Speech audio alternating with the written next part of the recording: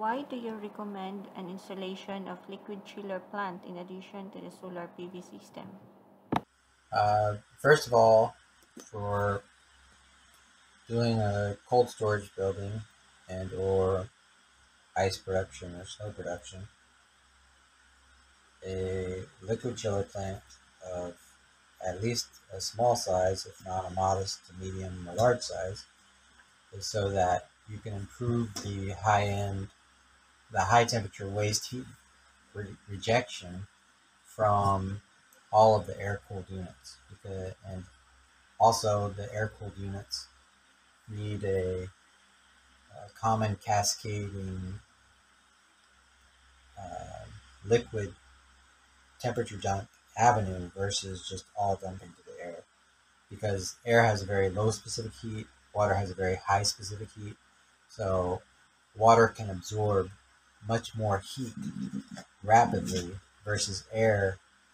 You have to move 22 times the volume of air versus just pumping water, which is much more efficient than moving air. And what is the importance of the construction of compressor housing?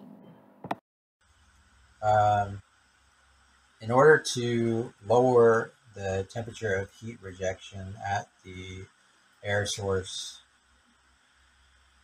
Uh, heat pump condensers for the building cooling production, it's imperative that you eliminate all radiant heat gain from the sun and as well as place all of the air conditioners heat pumps in a common tunnel so that the airflow is significantly increased.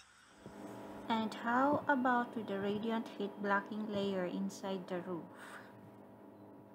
In order to not only do you want to reject the heat that is inside the building, it's even better if you prevent the building from absorbing heat to begin with. Heat transfers, heat moves by three ways convection, conduction, and radiation. So the sun is sending heat to this building via radiation. So inside the roof, there needs to be a radiant heat gain blocking layer so that as the roof heats up, it doesn't re radiate the heat from the roof into the top of whatever the insulation inside the building is.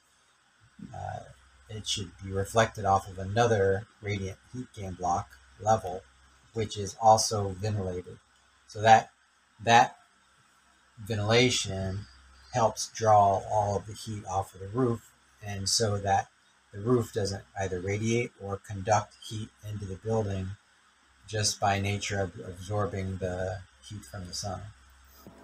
What's your opinion with the given roof area, which is 1,400 square meters only with respect to the total required load, which is 976 kilowatt?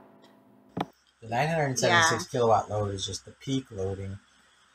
If all of the air conditioners are turned on at the same time and all of the defrost heaters are all elements are all turned on all at the same time, then across the, a period of 30 seconds or maybe up to a minute, that during compressor startup and all of the compressors all together all starting up you would see a max loading of close to a megawatt, but the actual sustained load would be more like 200, 220 kilowatts. And that sustained load should be half of that with better insulation, radiant heat gain blocking, and liquid chiller plant, and arranging the, the, the cooling, uh, the heat pumps, you know, in arranging them in a series, a cascading series configuration versus just 100% parallel.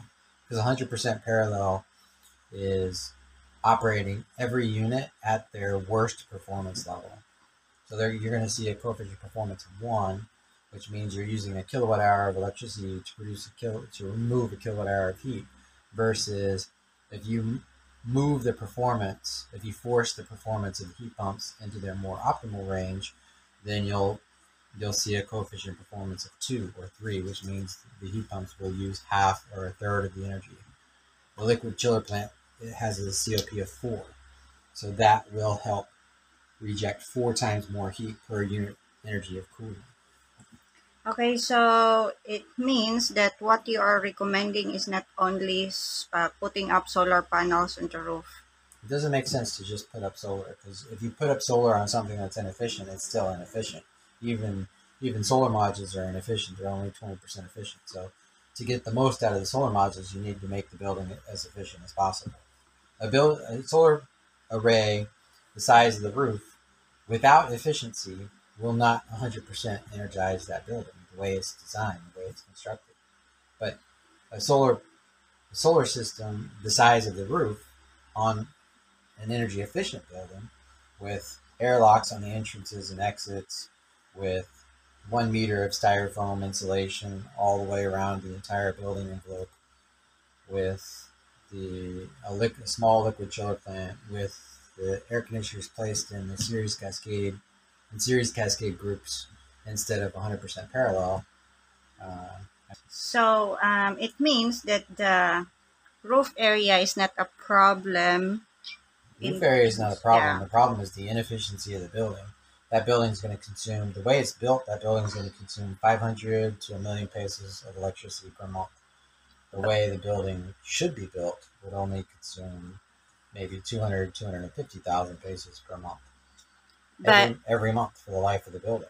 Yeah, so it means if this um, efficiency suggestion that you are including in the quotation, um, it is doable to reduce that kind of um, electric bill. Yeah, in general, energy efficiency investments have a two or three or four year payback. Okay. In general, solar has a four year payback. So the entire project will for sure have less than a four year payback because you'll spend a significant portion on energy efficiency.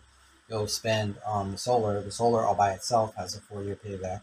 The energy efficiency investment has less than a four year payback. So the whole thing is going to average to be less than four years. It's better than 25% return. Okay, that is all. Thank you.